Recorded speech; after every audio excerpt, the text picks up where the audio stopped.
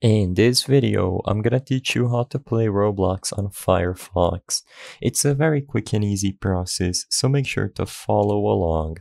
As you can see, by using Mozilla Firefox, I can go to the official Roblox website at www.roblox.com and sign into my account. If you do not have an account, you will get a prompt telling you to create an account before proceeding. As you can see at the website, I, I can use a lot of functions like watching my profile, my messages, friends, avatar, and exploring all the experiences available on the home screen. After I find one that maybe I want to play, what I have to do is simply open it up and, as you can see, in order to properly play Roblox, you need to use the Roblox launcher.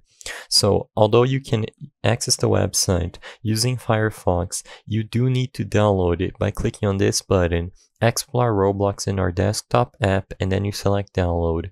Once you select download over here at the top of the page on Firefox, you will be able to download and install the Roblox launcher where you will actually be able to join and play the experiences that you find.